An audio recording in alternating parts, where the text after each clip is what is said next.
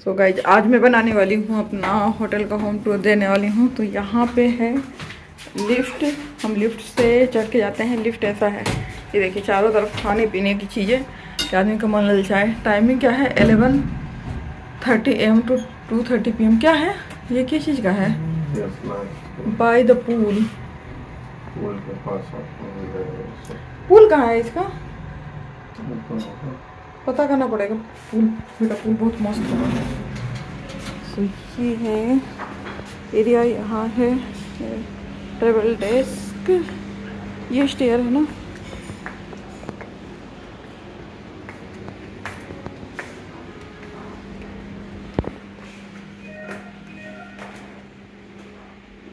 सो so guys मैं यहाँ से वॉइस ओवर कर रही हूँ कि यह है जो विजिटर स्पेस होता है आप आके यहाँ बैठ सकते हो वेट कर सकते हो आगे भी स्पेस से वहाँ पे आप क्या वेट कर सकते हो।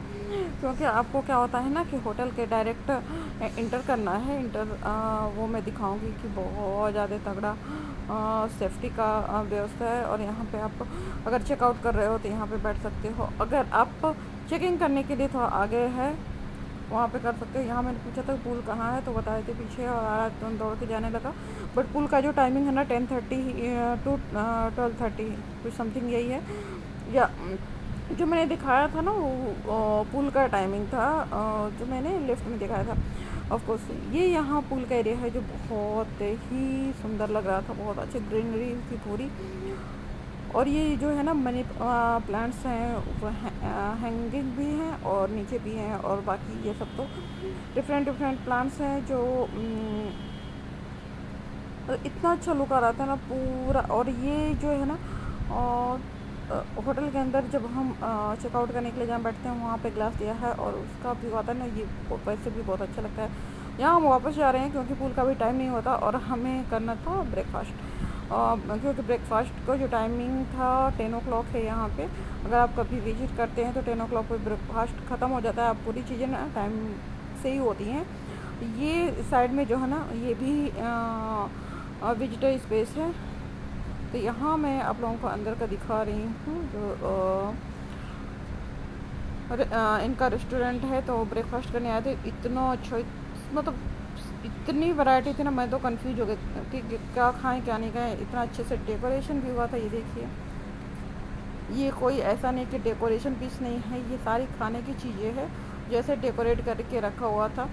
और ऑनेस्टली मैं बताऊँ तो ओ, सारी चीज़ों के टेस्ट इतने अच्छे थे ना वेज नॉन वेज दोनों थे।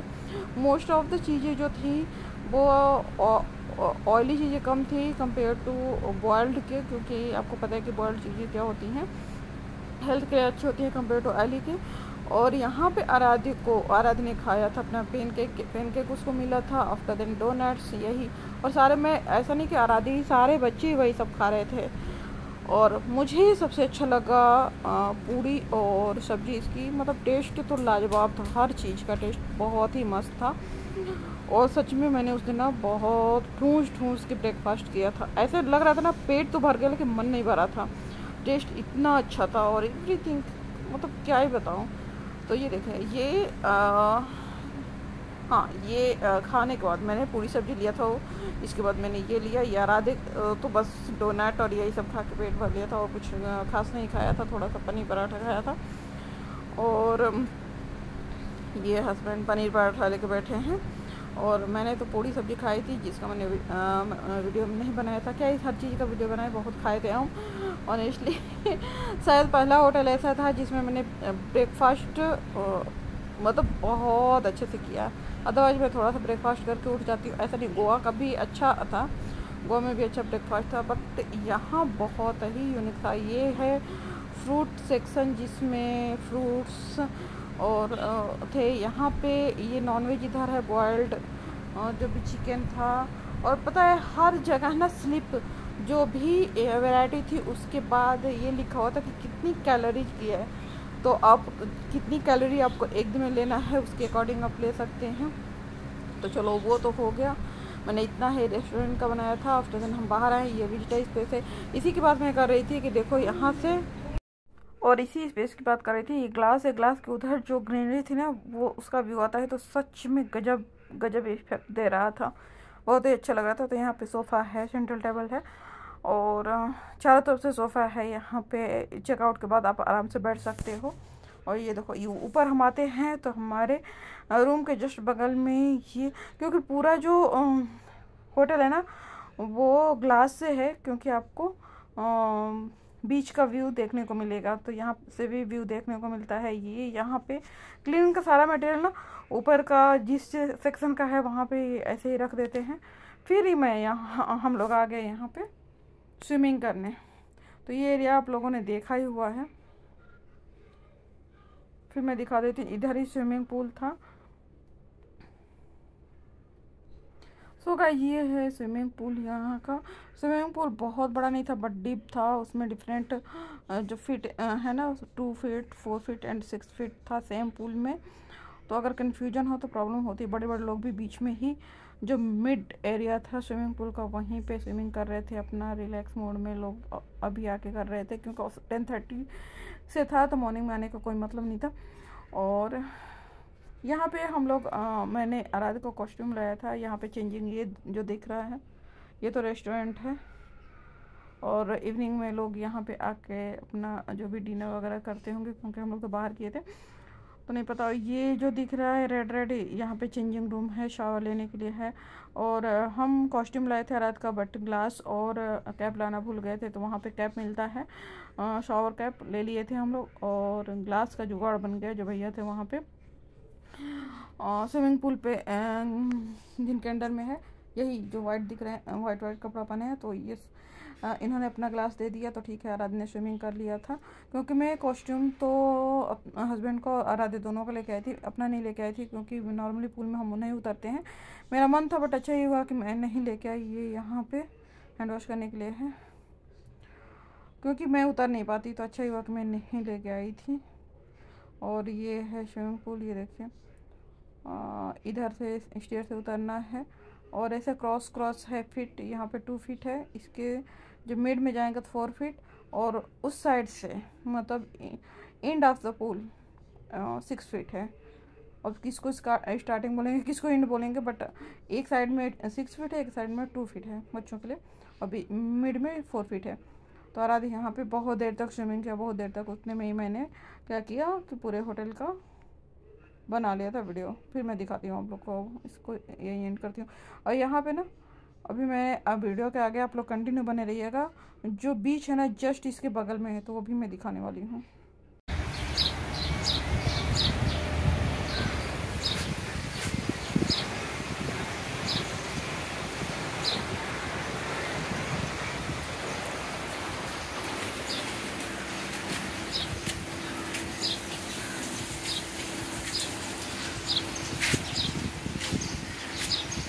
आलू। इधर देखो।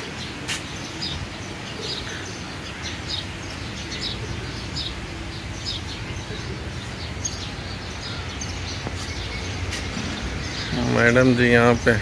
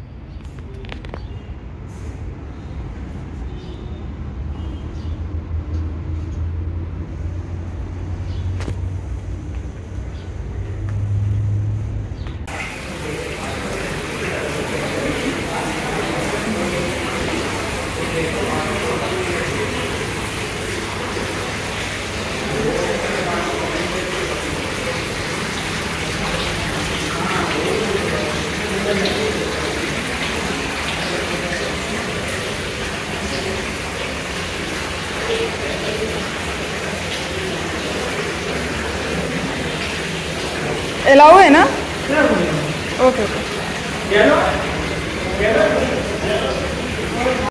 सो गाइज़ ये रहा फ्रंट का। फ्रंट पे जैसे मैंने दिखाया कि गार्ड्स थे इंटर करेंगे तो एक बड़ा सा फाउंटेन है, फिर गणपति जी हैं। उसके साइड में आपको जो भी लगेज है, वो चेक चेकिंग होने के बाद चेक होने के बाद बाहर निकलता है, फिर वहाँ से रूम में जाता है। ये बड़ा सा मिरर लगा हुआ था और फिर मैं दिखाती हूँ आगे एक सैलन भी था, उस पर भी सैलन उस पर भी आप जा सकते हो। और ये सब इन के बोर्ड्स थे। ये होटल कहाँ कहाँ मुंबई में है और अदर सिटीज़ में कहाँ है, ये पूरा इसका डिटेल था। ये मैंने लिया था। फिर अगेन हम यहाँ आते हैं। ये सैलून है सैलून है। सैलून पे अब कुछ भी अपना जो भी काम, जो भी है, मुझे नहीं पता सर्विस क्या क्या था, क्योंकि मैं अंदर नहीं गई थी। यहाँ पे फ्लो पॉट है और जस्ट ये जो मिरर है जस्ट उसके साइड में ये डेस्क है जहाँ पे आपको चेकिंग करना है, यहीं पे चेकिंग का है। उधर एक अच्छा सा पेंटिंग लगा हुआ है, ये पेंटिंग है। जो जो बीच की थीम पे बना है, यहाँ पे एक मंडाला डिज़ाइन है। बिल्कुल सेंटर में उसके ऊपर पे जस्ट वैसा ही एक सीलिंग लाइट है। बस ये इतना ही है। और गाय जी यहाँ पे हम आ गए थे चेकआउट करने। तो यहाँ का वीडियो मुझे बना, बनवाना था, ये पता नहीं कोई और बैठा था, जिसके जाने के बाद मैंने फ़ोटो वोटो क्लिक किया था। और तुरंत चले भी गए थे तो यहाँ हम लोग वेट कर रहे थे चेकआउट का जो भी प्रोसेस था, वो हस्बैंड कर रहे थे, फिर वीडियो भी बना रहे थे। यहाँ पे हम वेट कर रहे हैं, क्योंकि टाइम लग रहा था, जो भी बिल वगैरह था, उस आने का। ये सेंटर है, यहाँ पे एक पियानो भी रखा हुआ है। और जो रेस्टोरेंट है ना, उसके जस्ट फ्रंट पे है ये। जो विजिटर्स प्लेस है, उसके सामने। यहाँ पे न्यूज़पेपर वगैरह था टीवी लगी हुई थी, क्योंकि लोग बोर होंगे बैठने में, कितना टाइम थोड़ा टाइम तो लग ही जाता है। बस यही सब कुछ था। यहाँ का व्यू मुझे काफ़ी अच्छा लग रहा था। तो यहाँ मैंने बहुत सारे फ़ोटो वगैरह क्लिक कराए थे। जो मैं थोड़ी देर में लगाने वाली हूँ। यही हमारा लगेज था, क्योंकि सडनली हमारा प्रोग्राम मुंबई का बना था। बस रात में हस्बैंड मुझे लग रहा है कि सेवन ओ क्लॉक को कॉल किए थे सेवन या सेवन थर्टी को। ऑफ़िस में बैठे थे कि मुंबई में मुझे जाना है तो मैंने कहा, चलो, हम लोग भी मुंबई घुमाते हैं। बस ऐसे ही प्लान बना, हम आ गए। यहाँ पे आराधे अपने इंजॉय कराए, आराधे ने जूस वगैरह भी पिया था ऑरेंज जूस और बस। ब्लॉग कैसा लगा? ब्लॉग अच्छा लगा होगा तो लाइक ज़रूर करिए। लाइक करने में आप लोग बहुत गंजूसी करते हैं। और हाँ यहाँ पे देखिए। बिल अब भी आ गया है। आराधे अपना जूस पी रहा है तो मैं बोल रही थी कि आप लोग बहुत कंजूसी करते हैं। सब्सक्राइब और लाइक करने में प्लीज़ कर दिया करिए। यस क्योंकि उससे हमें क्या मिलता है? मोटिवेशन मिलता है। वैसे भी ये मेरा बहुत ही फेवरेट काम है ब्लॉगिंग करना। इसलिए मैं करती हूँ, मुझे अच्छा लगता है।